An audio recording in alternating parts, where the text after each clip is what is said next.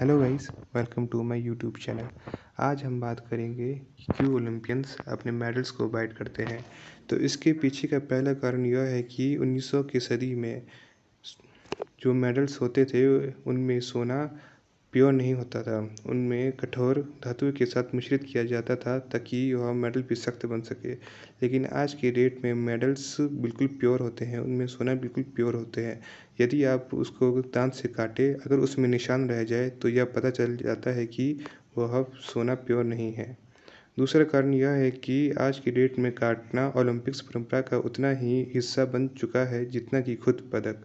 Olympian ऐसे pose देते हैं जैसे वे सिर्फ़ कैमरे के लिए मेडल काट रहे हों।